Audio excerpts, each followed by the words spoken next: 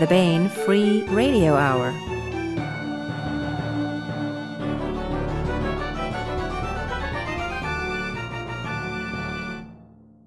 On the podcast, we reveal directions for getting to Underhill to rescue Delitha Merzatil, the Princess of Faerie, which are mainly that you take the Zarathan Express through the Gateway to Never, then hang a right two stars to the left, go straight on till morning to Midlothian, Texas, where the Austin chalk, which is just another word for fairy dust, is thickest. Sprinkle some on your shoulders and locate the cave in the quarry behind the cement factory. Clap three times and say, I believe in the Marfa lights and you will be transported to the realm of the Javelina King, where Princess Merzatil is being held by King Bor and his Varangian guard. And the latest entry in our complete audiobook serialization of Larry Correia's Hard Magic. All right now. Welcome to the Baen Free Radio Hour podcast. It's an honor to have you along. I'm Baen editor Tony Daniel. We interview Ryk Spoor on his new book Phoenix in Shadow this time which is the sequel to Phoenix Rising and Book Two in the Balanced Sword Heroic Fantasy Trilogy. Ryk discusses his enormous Zarathan world building project and how the series fits in, plus why we should fear certain toads bearing swords and concussive grenades. And we continue with our complete audiobook serialization of Larry Correia's Hard Magic. It's read by Bronson Pinchot. Here's the news.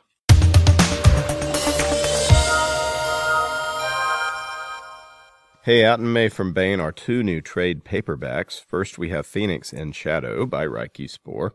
This is book two in the Balanced Sword series, a high fantasy heroic adventure series, and the sequel to Phoenix in Shadow. The Phoenix books are good high fantasy, good world building, magic that makes sense and has all kind of cool implications.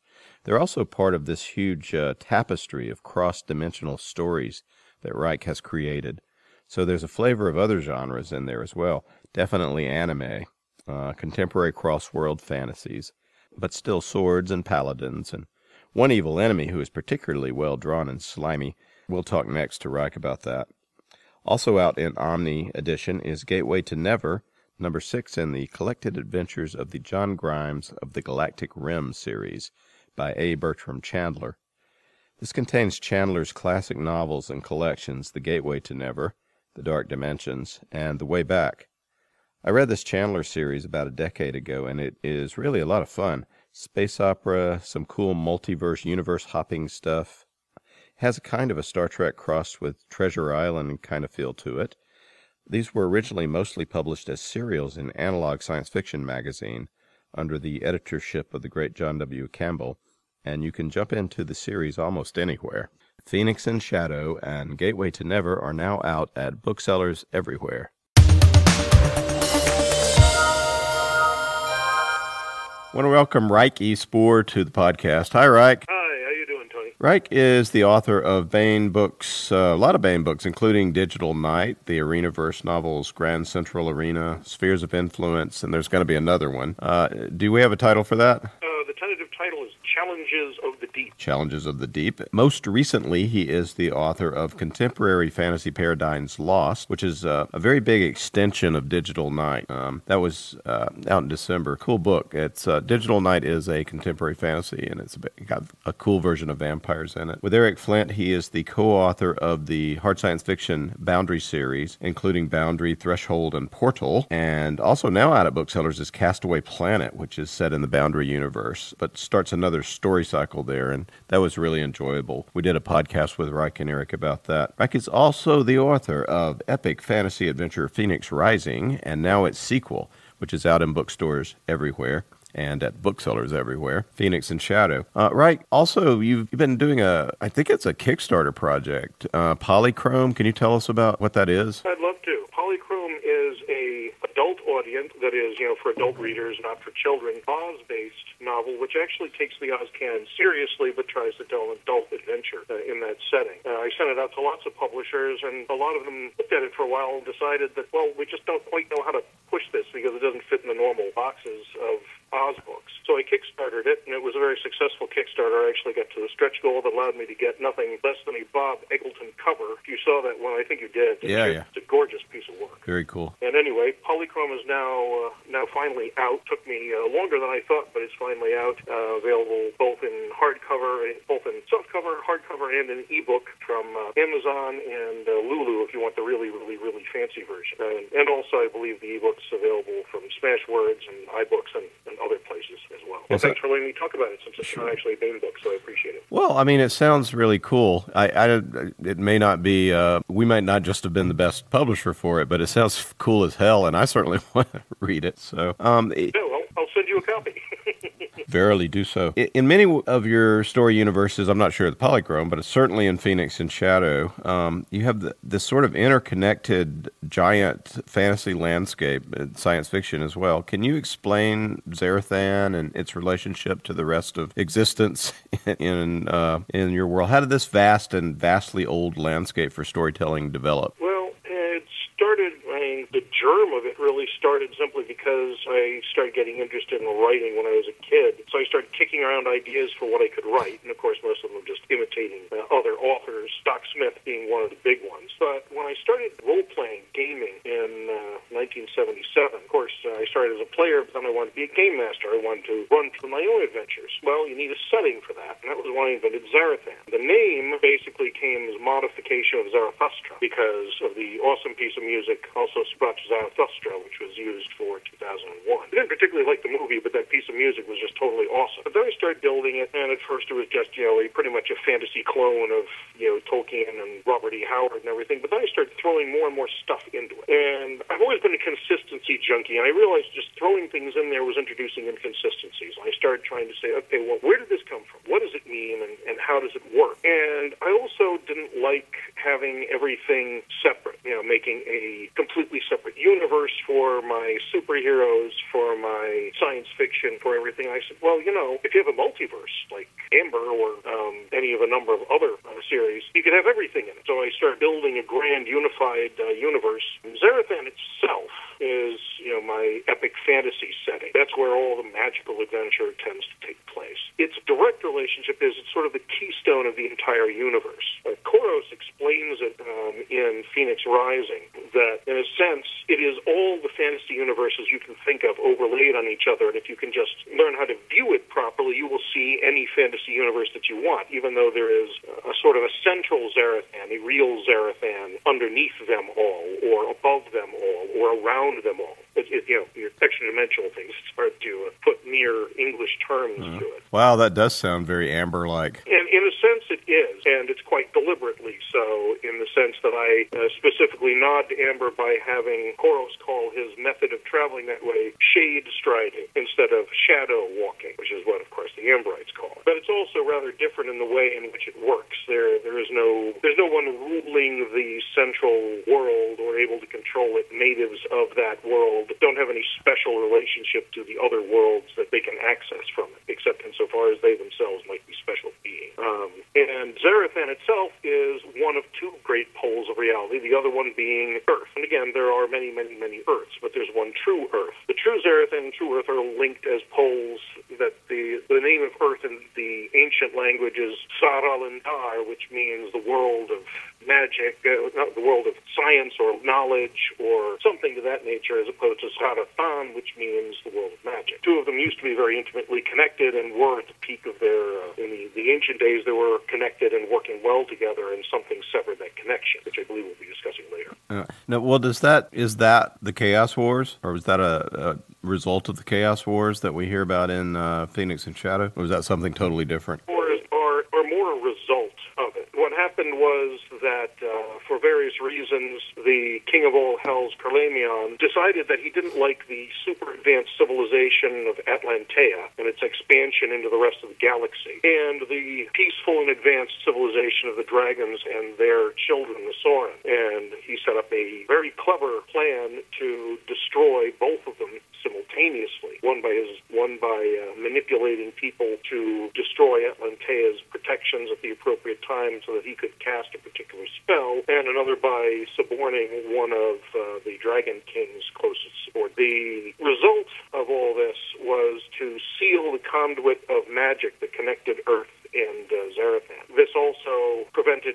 magic from getting to any other point in the universe. And since the Atlantean civilization was based on a integrated combination of magic, psionic powers, and technology, it was like suddenly shutting off electricity. The entire civilization collapsed instantaneously across the galaxy. One of the greatest disasters imaginable. Now, on Zarathan, the result of this was a shockwave. Now, we don't know, nobody knows why or how, but as a uh, author, I do, and I can tell you flat out that the Chaos Wars are a result of that closure being manipulated, the power of that closure being manipulated by yet another being who wanted something that would make sure that while civilizations could rise, they would never rise beyond a certain point. So every 12,000 years or so, the magical resonance comes back, incites people into a war, causes a chaotic resonance throughout the world, mystical power so great that by the end of the Chaos War, people don't even remember the past very well. Even the gods don't. They can remember very general things and rediscover stuff from the past by digging up the wreckage and everything, but they can't remember the details. So while there may be and are beings that are vastly old, even they mostly don't remember details of the ancient days.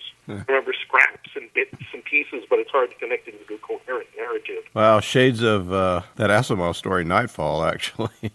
Yes, although in this case, uh, it's not. They can't even keep written records in stone or something. Even the records are wiped for the most part. So, tell us more about the the magical beings, the pantheon uh, for Zan- Zarathan, and how the gods interact, and and the, the demons and the devils. Why do they need champions, uh, for instance?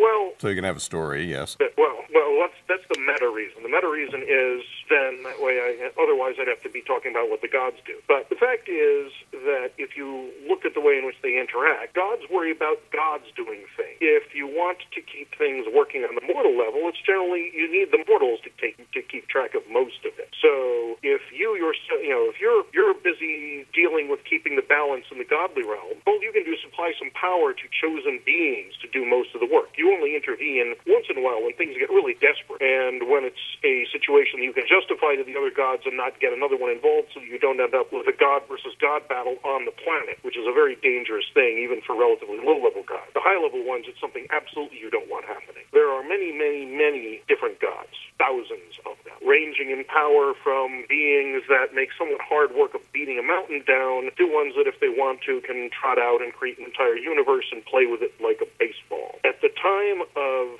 the uh, Phoenix books, someone, we find out it's Kerlamion and his group, have managed to manipulate the other gods into well, basically signing a non-interference pact, where the only way in which they can interfere is through their champions, their mortal avatars or priests, or in the, in the case of uh, Kyrie, the Justiciars, basically holy warriors. They also have to keep the uh, mortals pleased with them in one way or another because many of them draw power from being worshipped, from being believed in, from being symbolic of whatever it is that they're supposed to represent. The more successfully they carry that out, the more the more the fact that they exist on Zarathan and represent this gives them power because they're at, this, at the keystone of reality. So since they are sitting on that planet, it gives them power just from acting properly as a god. Myrionar, as a god of justice and vengeance, doesn't have doesn't even show a gender or a face because they want to be purely just. And justice uh, that means show no preference to species, show no free,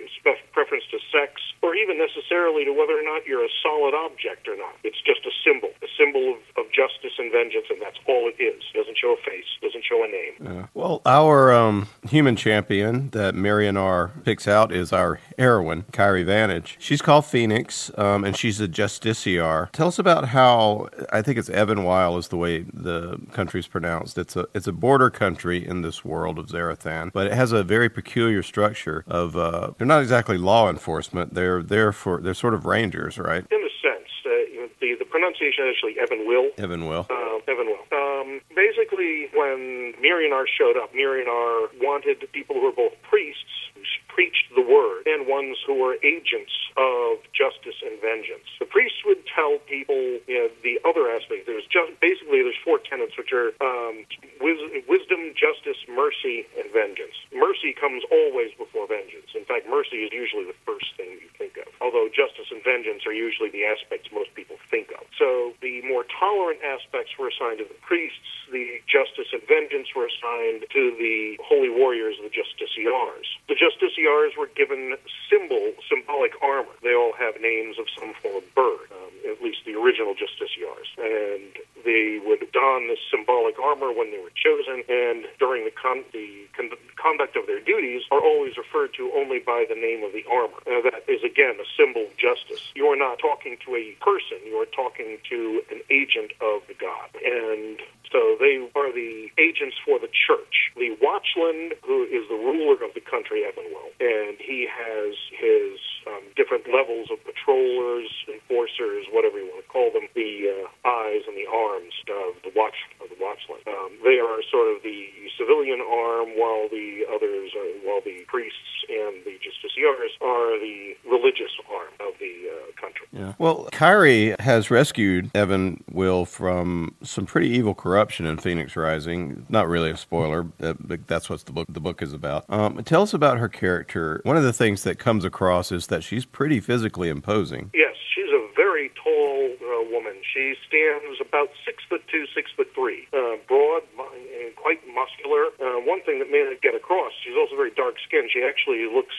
uh, I was envisioning her looking rather Polynesian in uh, in appearance. We should mention there's a really cool uh, that Todd Lockwood cover on this book. I think it's a wonderful uh, composition. God, I love covers. yeah. both both covers are gorgeous, but the lighting, of course, makes it difficult to see anyone's coloration because you know the one it's dark with fire all around, and the other one with she's on fire. the other one with her flaming wing. Kyrie's a, a vantage as well as being uh, Phoenix, one of the uh, justiciar. Tell us about the family and her background, how she came to be Myrionar's uh, agent in this world. The Vantages are one of the eyes rank, one of the high up uh, secondary nobility, essentially, in Evanwell. And her parents are killed mysteriously. Someone invades their home and burns to the ground, killing her parents, who used to be adventurers, which means that they themselves are not to be trifled, yet they were killed apparently.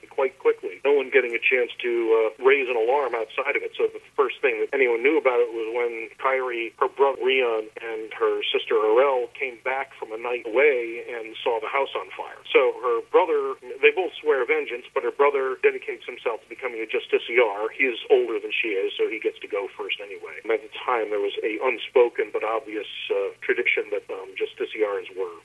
He joins, and it's not a spoiler since we have Phoenix Rising has been out for more than a year, to say that eventually it's discovered when Rion is betrayed and murdered that the justiciars themselves have become corrupt. That's not discovered until after he is murdered, and Kyrie leaves. She leaves, she goes somewhere to, you know, figuring that maybe someone's after her family specifically, and then discovers through seeing a clue that she hadn't really interpreted properly before, she realizes this, goes out and demands to the god in a rather scream at the heavens way as to how how could a god of justice abandon them so badly as to allow this level of injustice. The god instead says, I have not abandoned you, says that there's much more behind it, and then says, But if you will believe in me, you will become the last true and only justiciar, and I will give you justice and vengeance if you hold true. She realizes that basically Myrionar is saying, Help me, I'm too weak to do this without your help, and accepts the uh, charge given to her. Well, she's in Phoenix Rising, she's becoming this full ju- justiciar. In, in Phoenix and Shadow, she's got her powers. Uh, there's some pretty cool powers. Can you give us a hint of what it means to be a champion of Myrionar? You can, you can you, see on the cover one of the things that you get. There's a lot of things you get. The, the You can the power of your god to just reinforce everything you do, so you can become faster, stronger, um, more resilient. You can defend yourself. You can shift your perceptions. So if it's dark, you can suddenly see whether that's whether it's dark or light. Myrionar being a god of justice and vengeance also has a power of truth, so you can often see through lies, illusions, deceptions. You obviously see on the cover one that she has, which is that she can fly by getting wings of the phoenix. Most of the uh, justiciars could also fly by getting wings of one form or another. Each one of them also gets particular powers based on, on their own theme, so to speak. Kyrie being a phoenix gets powers of even better powers of healing than most of them have. She gets powers of fire. Um, her sword is named Flame Wing for a reason, uh, since you can see it on both covers, it bursts into flame. She can gain other powers depending on circumstance. She can basically pray to Myrionar and say, Can you help me do this? And if it is in the cause of justice and vengeance, the god can choose to assist you in that. They're fairly open ended. I mean, you're basically being the emissary of the god, and in her case, it's even more important. She's the only true emissary of the god, and therefore anything the god does has to go through her. So she's much more important as an, on an individual scale than uh, the justiciars used to be, because there used to be more of them, and there used to be a lot more priests and all that. The actual faith now has been reduced to only one known temple of Myrionar, and that's actually an important plot point in the overall scheme of things. Well, there's some uh, because of her powers. There's some really cool action sequences in Phoenix and Shadow. I think my favorite parts are, are some of the or the fight scenes. Some of them that you just have her do a lot of cool stuff, and the other characters, which we should talk about. She has two friends. Tobimar Silverrun is called the Exiled Prince. What is Tobimar exiled from, or where, and what is the quest that he's been set out on? Tobimar is from a country called Skysand, and he is the seventh of seven, the seventh child of seven children, and child of a seventh child herself. His mother was the seventh child of her own line. He had the misfortune or good fortune to get a reading at the temple of Tarion, which is their god. And the reading basically said, You've been chosen to go on this quest that only you, the ruling family, get to go on. Unfortunately, it also means exile, because the quest is to find their lost ancient homeworld, home, homeland. The reason, of course, they don't know where it is because this happened in one of the prior Chaos Wars. And, of course, their memory is gone and the records are gone. Unfortunately, there's a curse on their family that if they don't leave immediately, the forces that drove them from their original homeland, some form of that force will come down on the entire country. So he has to leave and go on his quest to search for his original homeland. He is not allowed to return for a full 24 years, um, unless, of course, he succeeds and finds the homeland. This has been going on for hundreds, if not thousands, of years, and none of his none of the prior ones have ever succeeded, and none of them have ever returned alive. He, I kind of picture him as a as an Errol Flynn type. I don't know. It's, it, he's swashbuckling. Are there any literary influences for for Tobimar that that you drew on? Yes, actually. Um, first of all, his um, setting is actually very um, Middle Eastern. You know, it's a desert kingdom sort of thing. He also is supposed to be very dark-skinned, hawk-like look. I always envision him as something from the from the uh, Sinbad mold. Although his style of combat and fighting is much more influenced by Wuxia martial arts movies that kind of thing. So he's a very, very swashbuckling, as you say, but the uh, influence is much more Middle Eastern, Arabian um, kind of uh, vision. Yeah, he's so good that one sword's not enough for him. He's a two sword user, and then he runs into another one. But that's because it's a theme with that particular style of combat. Um, also, along in Phoenix and Shadow is my favorite character in the series, and I think maybe a lot of people's uh, sort of sentimental favorite, maybe. This Poplock uh, Duckweed. So what? A frog has a sword. Uh, why wouldn't he just be easy to squish anyway? First of all, Poplock instructs me to say, I'm a toad, not a frog. A toad. yeah, they, they, they, they're sort of racist that way. Yeah, I'm very, I would not want to offend Poplock, actually. So. Well, he has a sword, and he uses it, and it's been, for one thing, that sword's been enchanted by Koros, although it took him a while before he found out who it was who put the enchantment on. So the sword actually hit something more like a full-size longsword swung by an adult human being. So that's one reason why you shouldn't sneer at that sword. He is also much tougher than he looks. The intelligent toads are very tough creatures. Certainly, he's not on the level of a human being, but proportionately, he's tougher than a human being is. So, any individual hit really has to get him pretty well before it's going to do serious damage to him. More importantly, though, he thinks. He thinks more than any of the other two. He is possibly, aside from one particular character in Phoenix and Shadow and one particular character in the sequel that I turned into you guys, Phoenix Ascendant, coming next spring, the smartest person that you encounter. Yeah, I mean that's what's so fun about him is that he is clever because he has to be. And yeah, he has to be. He's he is he measures If he stands on his hind legs and stretches, he might be eight inches tall. He's about four to six inches from nose to rump. Um, and he, therefore, has to be very sneaky, very clever. He is not a master of magic, but he's very good at using the magic that he knows and analyzing anything that he comes across and figuring out innovative ways to use things that he has to greatest effect, or simply to trick people into thinking that one thing is going to happen when something else happens. He and Tobimar work really well as a team because they'll, the enemy will end up focusing on Tobimar, giving Poplock a chance to uh, figure something out on his own. Ah, nobody suspects the intelligent toad. The- Ooh, fear me. That's uh his tagline is fear me. And most people might laugh at that at first. yeah. But at the end, they come realize they shouldn't have been laughing at all. That's right. They're not laughing anymore. They might not even be breathing. If they're alive. Yeah. Well, um, so Poplock knows quite a lot about magic in Zarathan. Your magic seems like it it feels logical, feels like you've thought it out. Can you give us an overview of how magic works there and how it's connected with the gods? Is it basically all one or No, there's actually a lot of different powers, and magic itself has many different types. Yes, if you follow it to its ultimate source, all powers, magic, psionics, technology, all can coalesce to the ultimate power of creation and so on. But in any ordinary circumstance, they are quite separate powers. You know, it's sort of like um, electricity and electromagnetism and gravity.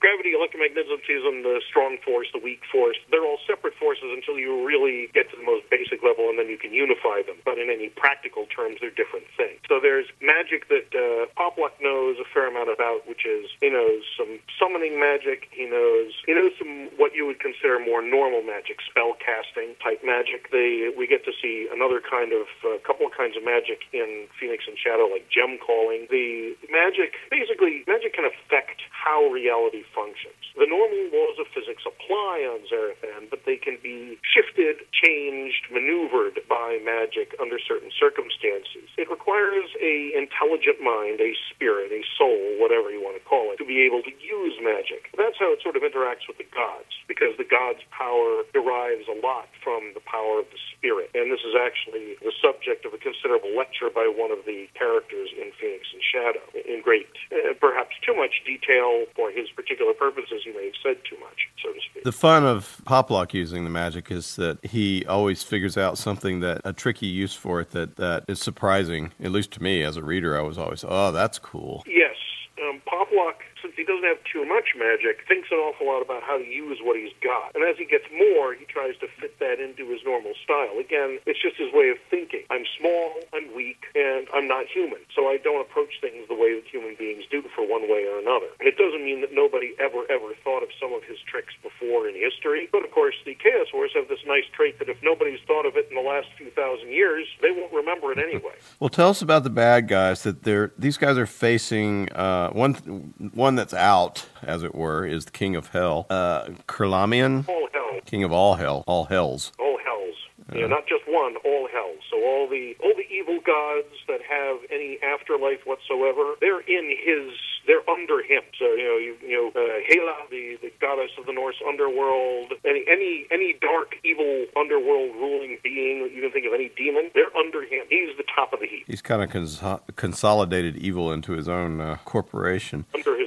And yes, he's got a. It's like he's the emperor, and they're all kings of their own countries, but they all answer to him in the end. Well, we have a minion of his who's the main character, um, and we don't really, we're not sure who it is, um, and we're not even sure if this thing has a gender. Probably doesn't. What can you tell us about that character? Without I mean, we we we're with him a lot in Phoenix and Shadow, but you managed not to reveal exactly who he is. But he's pretty evil, right? It um, Not or he not or he. she Sorry, yes. he for a default, but keep in mind that uh, the word, the term used in the book is it. Right. I may say he occasionally, but it's it. It is. It uses the name, and other beings believe its name to be Viedraverion, which is the first son of Kerlamion, the king of all hells. At the end of Phoenix in Shadow, it becomes clear that it may not be what people think it is, although the rest of the characters aren't going to know that. It is clearly manipulating everyone, even Kerlamion. What its real goal is, is not clear at that point and won't really become clear until toward the end of Phoenix Ascendant. But what it, it clearly focuses on Kyrie and her group. It is clearly responsible. This much we learned even in Phoenix Rising. It is the one that really devised the plan that Kerlamion is using to try to conquer all of Zarathan, to bring the Dark City, the Black City there, to upset the rulership of all the other countries, to foment revolution and chaos in other places. All is part of a chaos war, which it obviously knows is coming and is using for this particular purpose. What is the Black City? Because it, it shows up. It's not just a mythical uh, thing from the past. No, the Black City is basically the capital of all hell. This is Real home. Because of that bargain that was struck that we mentioned, where the gods can't interfere directly, the only other loophole that was in it was that the only gods that could directly act on Zarathan, the ones that were physically incarnate on Zarathan naturally, he, by making his entire city part of Zarathan, steps through that loophole. Ah, see, I'm incarnate on Zarathan. My, my home's here, my city's here, so naturally I can act. And unfortunately, when gods swear oaths, this is another very, very important aspect of the entire trilogy. A god cannot act against their nature, and they cannot act against an oath sworn upon the power of the gods. If they were to do so, the consequences are literally cataclysmic for them and possibly everyone connected. So the fact that he found the loophole, which obviously he planned on, or rather the being uh, that we were talking about, the one who called himself the Yggdravarion, had set up this plan with him. Um, by doing this, he's able to act on, on Zarathan, and the others still can't, even though he's broken the spirit, but he has not broken the letter of the agreement, and there's nothing they can do about it. And of course, the other thing is that because he has that, it's effectively a beachhead for almost unlimited troops of demons and other monstrous creatures that he has control of. There is uh, one one thing that we we don't want to talk too much about is while all of this is the overstory that's going on, there is there is a an evil that uh, and quite a quite a um, strong. Uh, let me see how I'm gonna say it.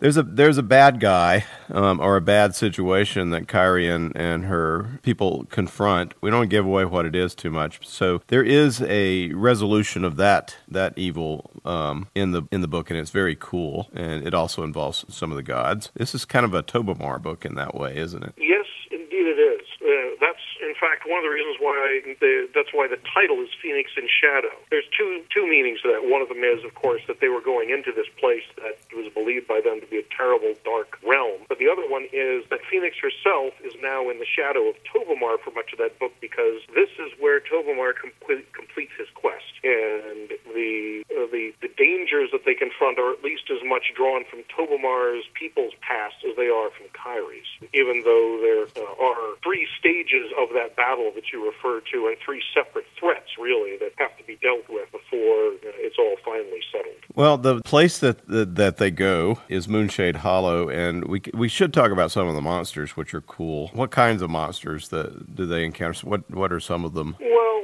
the they they run into the, the one they encounter, aside from some nasty twisted trees. The whole area is filled with, and you know, again, without spoiling, there there there's there's a corruptive force there that tends to twist normal things, even normal monsters, into being worse than they are. So you have even ordinary trees which become malevolent, moving monsters. Um, the first thing that they encounter, other than that, is a creature called a Nelathoth, which is basically a gargantuan armored maggot, a very nasty um, thing. But at least that's a nice, straightforward monster. It's a great, big, huge, ugly thing. It's going to try to eat me and going to fight it. I think the nastiest thing that they encounter as a monster, uh, aside from the big thing that they encounter at the end, um, are the Itrichel. These are basically body-stealing, centipede insectoid things uh, with various mystical or psychic powers uh, that they and they use human or other young creatures to breed in and then dominate and turn into more slaves or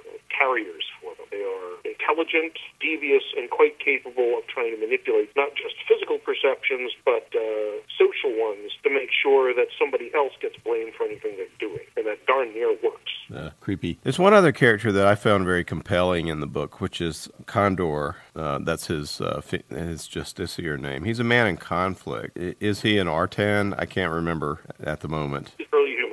He's purely he's, human. He's purely human. He, he's not a bad guy. He's just he, well, he is a bad guy. Explain a little bit about the the twisted logic that he's he's operating under without giving too much away. But I, I just like him as a character because he he it feels like there's hope for him, possibly. Possibly. To use a quote from an old Styx song, he's a man whose circumstances went beyond his control. Condor was a child who uh, was orphaned during one of the false justiciar's operations. One of the false justiciars, Shrike, could not bring himself to murder a child in cold blood. So he adopted the child and raised him. So Condor, whose name is Aaron, his real name is Aaron, was raised by Shrike as sort of the child kicking around Justiciar's the, the Justiciar's retreat, which is their headquarters. Um, he was the you know the kid brother of all of them, and most of them, most of the Justiciars actually were originally not bad people. That's one of the great tragedies of the Justiciars, and one of the great mysteries of how these people end up being corrupted, um,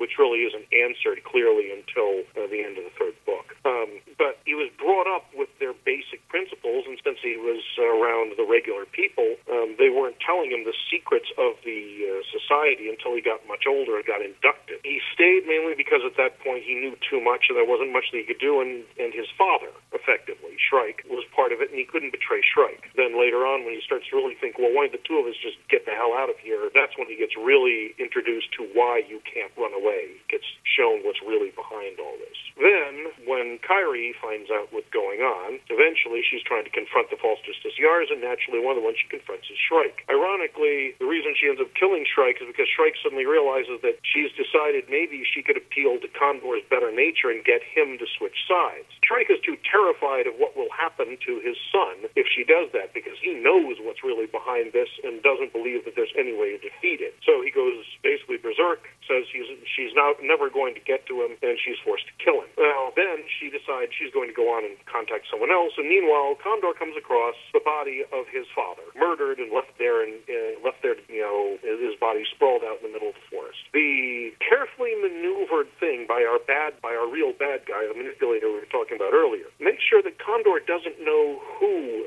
Phoenix is. He knows there is a false justiciar, or rather a real justiciar, since he knows he's the false one, named Phoenix, and knows that Phoenix is responsible for the death of his father. So he swears vengeance to go after this Phoenix and exact you know, retribution upon him or her. So yes, there is a certain logic to it, and in a sense, he's he's doing this. At least he's doing one thing for himself when he's never before been able to act on his own. And as he goes on, he's more and more certain that what he wants to do in the end, after he gets his vengeance, is go and turn on the guy who did this to all of them, the the mastermind behind it all. He really is at heart a good man, and tries to be one despite the fact that he's working for a monster, and his power is only given to him to perpetuate the monster's plans. Well, can you give us an idea of where the story is headed in Phoenix Ascendant? Are we going to understand uh, what, for instance, Koros might be up to? We will learn something of Koros's plans. You can think of Koros and our evil mastermind as being honorable adversaries. The two of them are playing a monstrous chess game um, across at least three worlds, maybe more. Um, and this sequence is just one part of that chess game. Where the story is headed, of course, is to the final confrontation between Phoenix and our chess master to find out what it really is, what its motives are, and, well, exact, hopefully, vengeance from it, because if uh, she doesn't succeed in doing that, obviously it's going to succeed in whatever it's after. If it succeeds, the stakes are much higher than she would realize. The stakes are nothing less than the lives of many of the gods. And even Myrionar, for reasons that won't become clear until that point, can't tell her what those stakes exactly are or why. Well, that sounds like I can't wait. What are you working on at the moment? Are we going to see more in the in the Boundary series that you've been doing with Eric? Yeah, I'm I'm uh, more than halfway through. I think on Castaway Odyssey, the sequel to Castaway Planet, um, which I've uh, what I've done is I've done a second. There's a second group of castaways. That's not really much of a spoiler since the end of Castaway Planet, they discover there must be somebody else there. So I spend the first part of the, the second book introducing this other group, which which are very different than the others, quite deliberately so. So you can see some people in different circumstances with different capabilities approaching the same problems and having to solve them in a different way. Then I've got a third book in the Arenaverse series, which uh, we mentioned earlier, Challenges of the Deeps. Uh, since uh, Baen right now wants me to temporarily at least wrap up that series, so I'm going to have to close off a bunch of, uh, you know, at least a few of the plot lines and uh, give some closure there, which is which is cool. It means I'm going to be compressing two to three books into one, which in a way might be good because it will keep me from uh, getting the disease of oh let's just draw this thing out to to get more books. And then I also have which I'll be working on about the same time. Princess Holy Aura, what we hope to be the first in the series, The Ethical Magical Girl. Honestly, I didn't expect you guys to take that one. when I sent it to you, I was saying, this is the one that you guys are going to look at and say, what the hell's wrong with you? um, I'm attempting to take what uh, anime fans know as the maho shoujo, or magical girl genre, and write a novel that both seri- takes it seriously and explores some of the more absurdity, absurd elements yeah. of the entire genre. But you love that stuff so much. It just, I, I mean, you're you and uh, you're really into it, right? I mean, it's. Uh... Well, much into anime in general. The Magical Girls series, I've enjoyed uh, some of them. I also enjoy looking at various uh, genres and saying, and what are the really cool parts of it, and what are the parts of it that just don't work, and how can I sim- point out both simultaneously? And I just had this vision of a perfect way of doing it for uh, Princess Holy Aura that I think really works to point out both sides of it, the serious and the absurd, uh, and so that I think if, if I do this right, I will have a book that is simultaneously quite fun funny and quite exciting and dramatic. It's a challenge, and I'm a little scared of it in a sense because it's one of those kinds of things that if it goes wrong, it will go terribly, terribly wrong. But I'm glad that I have a chance to do it, and I'm really looking forward to it. I've written the first two chapters, and letting them just sit there is something that will help me slide, slide into doing it full bore once I finish off some of Castaway Odyssey. Well, I thought it was just super, a super cool idea, and um,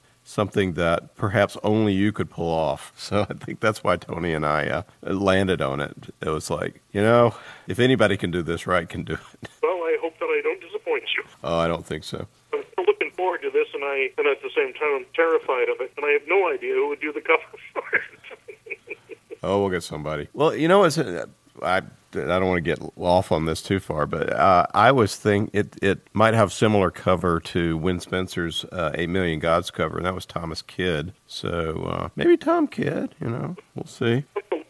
It's a very anime thing, so it would have to have some of that vibe because that oh yeah, Maho Shoujo is so anime. Yeah, well, that was uh, Eight Million Gods is, is very anime too. As a, as a she loves that stuff. Anyway, let's stop talking about that. The book we're talking about is Phoenix in Shadow, which is the sequel to Phoenix Rising and book two in the Balanced Sword trilogy, and it's now available at booksellers everywhere. Uh, Ryk, thanks very much for being with us. And thank you for being with me. I appreciate it, and let's uh, hope that uh, one does well because I, am so excited about it. I think it's a wonderful follow up. And I think the third one you will find is better yet.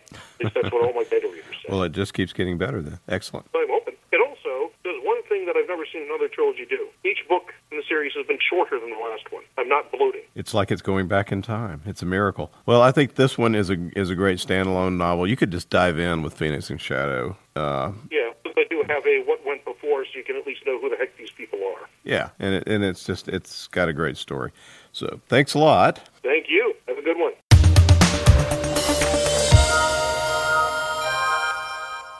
And now here is another entry in the complete audiobook serialization of Larry Correia's Hard Magic, as read by Bronson Pinchot.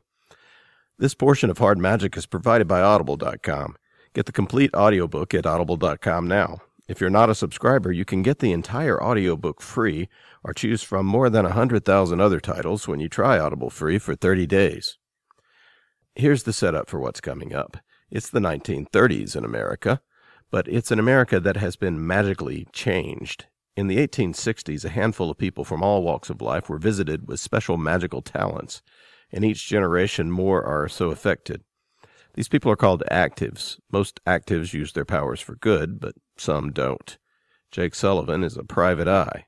He's also a former soldier, an ex con, and an active heavy, the type of active that controls the force of gravity. Jake is good at it. Jake has been recruited by a mysterious secret organization of actives, the Grim Noir, who are dedicated to seeing humanity through a possible magic based apocalypse, an apocalypse that seems to be accelerating toward a terrible finale. Here is Bronson Pinchot with this portion of the complete audiobook serialization of Larry Correia's Hard Magic. Chapter 26 We have tried everything. Bullets bounce off. Bombs thrown under his carriage have turned it to splinters and killed the horses, but don't so much as muss the chairman's hair. He does not sleep, so we can't sneak up on him. He does not eat, so we can't poison him. We've tried fire, ice, lightning, death magic, crushing gravity, bone shards, blood curses, all without effect. Decapitation might work if you could come up with a blade sharp enough, but the finest steel simply dulls against his skin. Even if you were to wield this modern Excalibur, the problem then would be that you can only touch Tokugawa if he lets you. He is all knowing, all seeing, moves faster than the wind, and can travel in the blink of an eye. You don't touch the chairman. The chairman touches you, and as far as we've observed, that only happens when he's ripping the very soul from your body. Frank Baum, Knight of the Grim Noir, Testimony to the Elders' Council, 1911. San Francisco, California. It was Christopher Harkness, elder of the Grim Noir, who responded to the call of his ring.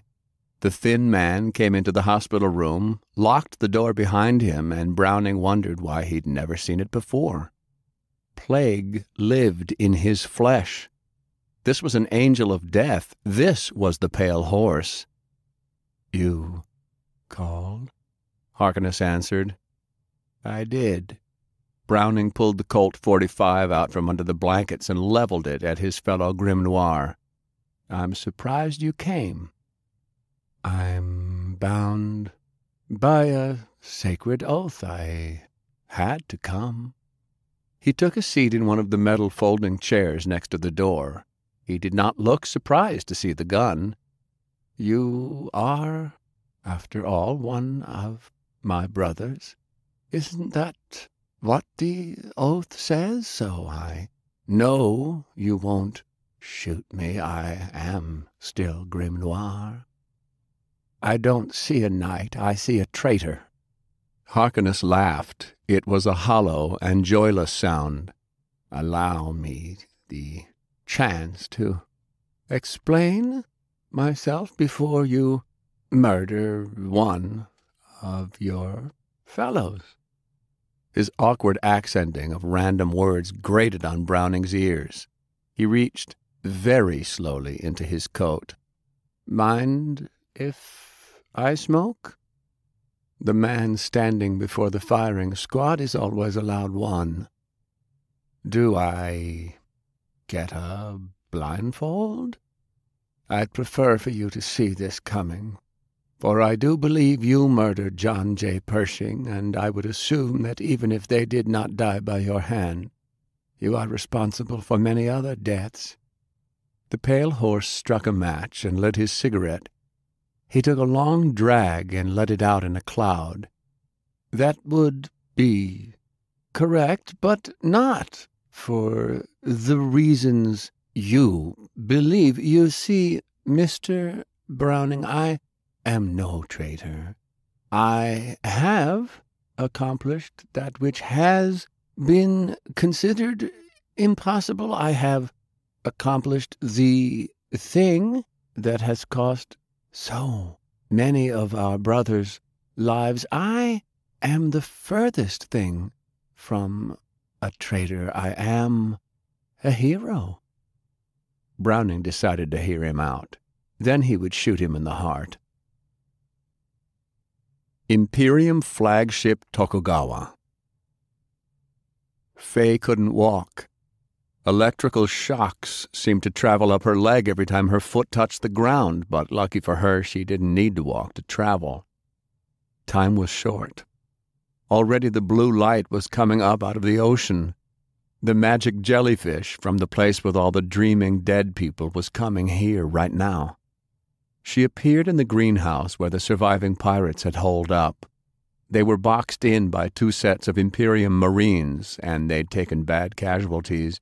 The woman that launched fire out of her hands was holding them back on one side, and the Bald Captain was shooting the soldiers that stuck their heads into the hallway, but they'd run out of bullets, fire, and luck before they'd run out of Imperium. The Imperium didn't even see her arrive right behind them. They were too worried about the fireballs that kept squirting down the corridor. So she pulled the pins out of two grenades, then traveled over to their friends on the other side and did that to them too. She had appeared behind the pirates and had started talking before the soldiers had even exploded. Don't shoot, Faye shouted. I'm on your side. She glared at the fire lady. And don't you dare set me on fire again, or you'll be sorry. Several guns turned on her, but at least they were smart this time. There were several explosions, and then a moment later, more from the opposite corridor. Okay, you're clear now. The pirate captain used the lull to shove another magazine into his rifle. Who are you? She waved her ring. Sir Faye of the Grim Noir Knights. She didn't know if she was technically a sir, like the knights she'd seen in that one picture book, as none of the other Grim Noir ever called themselves sir, but she thought Sir Faye had a nice ring to it. But then again, she was a girl. She'd ask Lance. He'd know. Never mind.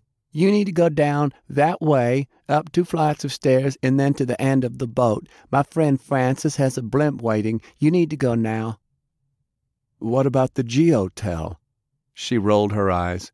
Oh, you people always needing to know everything. She was very frustrated. She didn't have time to explain this to every single person she had to go rescue. Why did people have to be so difficult?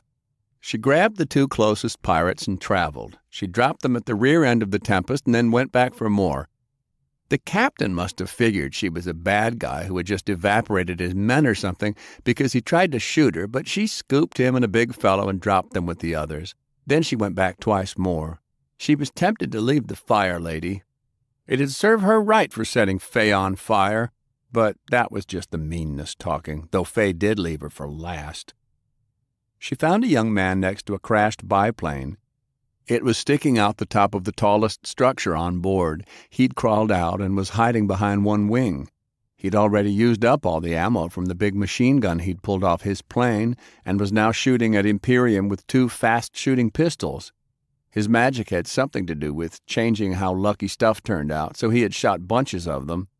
She grabbed him by the back of the coat and dumped him with the other pirates, careful to point him out to sea since bullets were still leaving his gun when they traveled. She found UBF people from the Tempest and scooped them up too. Delilah was in the middle of a bridge in a place that was lit in red. She was curled up on her side in terrible pain. Next to her was a big, dead iron guard. She'd pulled his arm off and beat him to death with it. Faye landed nearby. She used the rail to steady herself. Delilah? Delilah looked up. Half her pretty face was gone, and Faye could see her skull. Leave me alone. I'm almost out of power. Then I won't be able to stand it. I'm sorry, Delilah. This whole place is about to explode. She put her face down so that Faye could only see the pretty side and smiled. Good. She understood. Bye, Delilah. Faye traveled. Heinrich and Mr. Garrett were being chased by a bunch of zombies. At least they were smart enough not to argue when she showed up, and they'd be smart enough to explain to the others what was going on, so that gave her an idea. The three of them landed deep in the steaming guts of the Tokugawa. An Imperium torch took two steps toward them, but Mr. Garrett shot him twice in the chest and once in the forehead. The thing she wanted to show them was behind a big, wheezing, stinky machine. What are we? Heinrich asked. Look at this. Faye cringed as she limped and led them behind the machine. A really complicated design had been engraved into the wall. She didn't think the other's eyes could see what her gray ones could, but she could see the energy connected from the big, evil magic super bomb right to these markings. What strange geometries, Garrett said, running his hands over them. He pulled them away as if he'd been shocked. It's from the Rune Arcanium. It's a beacon, but that doesn't make any sense. I don't understand. There wasn't time. You'll figure it out. She grabbed them both and took them up to the Tempest. There was a big crowd there now. Mr. Garrett blinked in surprise, his hand still extended. He looked to Faye, biting his lip as the wheels turned. The entire night sky had turned a brilliant blue. Black storm clouds were boiling away around the energy. The Geotel. About time somebody got it, Faye shouted. You're smart. You've got the words. I don't make them understand. Mr. Garrett grabbed her by the arm. I can't leave without Jane. I'll get her. She cried a little as her foot hit the ground. That's what she got for being in one place for too long. Francis, are you ready yet? He came running, a metal pail in hand, filled to the brim with bits of metal and glass. I did like you said. Good. Listen, Mr. Garrett, tell Lance. He's smart too. Get in the air. We'll wait for you, Heinrich said. No, get in the air. Since she was supposed to be the uneducated hick, it was frustrating how much slower everyone else's brain was. We can catch up, but whoever put that mark down there didn't realize how smart the chairman is. He'll figure out what's going on real soon if he hadn't already. I've got to stop him. From what? Francis asked, confused. Firing the geotel? No, from shutting it off. She grabbed Francis's shirt. Let's go. What am I supposed to do with this junk? You'll figure it out. Sullivan stood defiant in a vast puddle of blood, surrounded by deadly iron guards and the most dangerous man on earth. Strong wind blew through the broken windows. The geotel was lighting the room in a stark, cold blue, but it was no longer necessary because the world outside had brightened considerably. The chairman stood. It is done. A great man has been defeated. He will be missed. But the strongest survives. So that's what it comes down to survival of the fittest? The chairman nodded. As always, I would offer you a place in my service. It is my sincere belief that you could take more kanji upon you than even your brother. You could be the greatest wizard of all, perhaps come to rival even me. Together we could even defeat the ancient enemy so that the power could stay forever. His face grew melancholy. Yet as I read your thoughts, you would fight me to the last. Sullivan shrugged and spit half a tooth on the floor. Whatever. You sum up so much philosophy in so few words. I wish that we could have been friends, Mr. Sullivan. He walked over to the geotel, his bare feet crunching through the broken glass. Would you at least watch the end of the old world and beginning of the new with me? I would very much like to share it with someone who can appreciate such things. You've got no right. No right at all to remake the world in your image. You're going to kill millions. Millions is nothing. If only you could understand what is at stake. I thought you might, but I am disappointed. He was honestly saddened, lonely. The chairman watched the ocean. The night sky had turned an electric blue. The iron guards shifted nervously, all of them ready to kill Sullivan. Interesting. When the pillar of fire appeared in Tunguska, did the air over Wardenclyffe also become so charged? Unknown, Chairman, one of the Unit 731 cogs answered. The geotel is one end of the circuit, so perhaps our observers at Tesla's lab were murdered by the Grim Noir when they took the geotel, so we do not know. And the second time, when the geotel was almost fired, the sky over New York turned blue, but the geotel was close to the target geometry. It is possible that the sky is lightened both where the power is provoked and where the power is unleashed. The chairman nodded thoughtfully. Yet something feels wrong. Has the energy gathered over the target in New York? Have we word from our spies in America? No, Chairman, a different cog responded. I will prepare a mirror. Okubo Tokugawa grasped his hands behind his back. Sullivan could tell he was using his power to feel the surroundings, much like he did himself when the world faded into its component bits and their corresponding gravitational forces. The chairman stepped away from the window.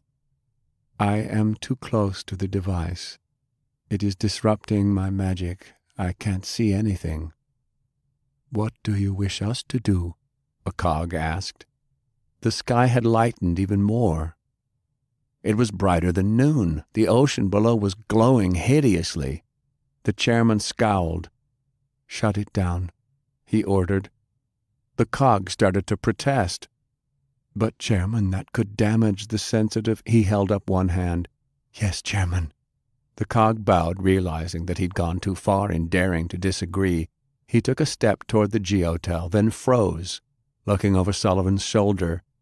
The cog's mouth began to form a warning, but then his head jerked violently to the side. Brains splattered the chairman's simple robes. Jane was holding up Sullivan's 45. The chairman glanced over at the healer. I did not see that coming, he said as Jane shot him. Take that, you bastard! She dumped the rest of the magazine into the grand leader of the Imperium. He appeared mildly amused as the bullet struck. Sullivan had nothing to lose. He surged forward as the chairman raised his finger to blast Jane into oblivion. Three iron guards intercepted him, simultaneously buffeting his body with fire, ice, and electricity. Hey! a voice cried from the other end of the great room. Every head turned, and Sullivan was surprised to see Faye and Francis. The girl hurled a bucket through the air, spilling tiny reflective bits behind it. Francis was concentrating hard. Sullivan instinctively threw himself to the ground. The air hummed with movement as hundreds of fragments zipped through the room. Francis didn't just send them out, he whipped them back, using his power to fling them at terrible speeds around and again. Iron guards screamed as bodies were pierced. The icebox at his right jerked as a piece of wire zipped through him, and the crackler at the left threw his hands to his neck to stop the spray of arterial blood. Then Sullivan was looking up into a pair of gray eyes as Faye dropped his missing BAR right into his lap. This might help, she shouted. I'm going to go protect the geotel. The crazy traveler girl had gotten it backwards, but whatever. Sullivan rolled over and started shooting iron guards.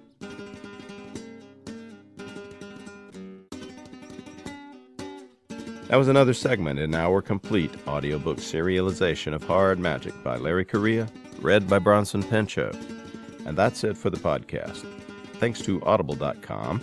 Thanks to Baen intern Christopher Ricci. And to podcast theme composer Ruth Judkowitz. And a swampy chorus of croaking hallelujahs to Ryk E. Spoor, author of Phoenix in Shadow. Please join us next time here at the hammering heart of science fiction and fantasy, and keep reaching for the stars.